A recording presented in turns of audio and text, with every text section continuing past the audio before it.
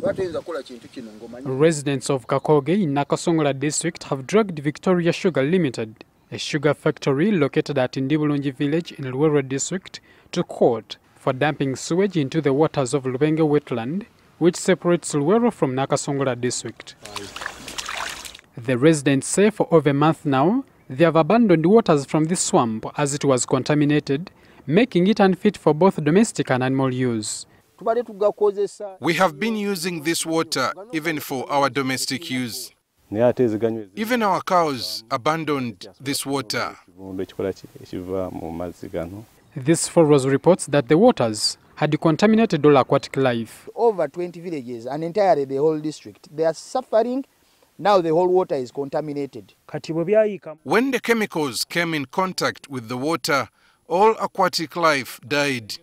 The water of Lubenge swamp eventually flows right into Lake Kyoga, which worries the residents that the danger posed by the factory may become more widespread. this wetland serves lugogo lugogo is a very big river it serves uh, river kafu which rivers pour in kyoga And I believe this impact will be felt in Lake Kyoga, among others.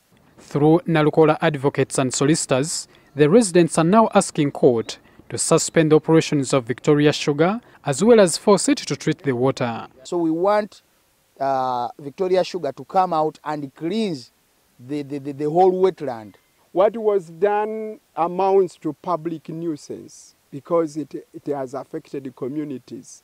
According to Elias Luyimbazi Nalukoola, besides degrading the environment, the alleged dumping of waste by Victoria Sugar is contrary to Article 39 of the Constitution. Every Ugandan has a right to a clean and healthy environment. Once any person violates such a right, is held liable. Earlier this month, the National Environment Management Authority dispatched a team of inspectors who called for closure of Victoria Sugar factory activities until a wastewater treatment facility was built.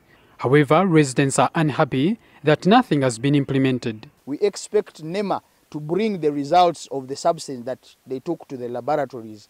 Ever since they went, it is now three weeks.